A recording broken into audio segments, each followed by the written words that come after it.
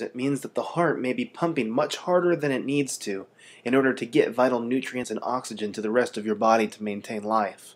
Plaque reduces the space for blood to circulate, the lack of circulation giving opportunity for even more health problems to occur. Are two non-drug approaches that work to control blood pressure. The most important thing to do is check for the serving size. Unfortunately, right now we ingest a whole lot more salt in our diet than we do potassium. And just one cup of green or red grapes could get you 300 milligrams of potassium or more. When the acids mix with the sugars, they stay longer in the intestine than they should.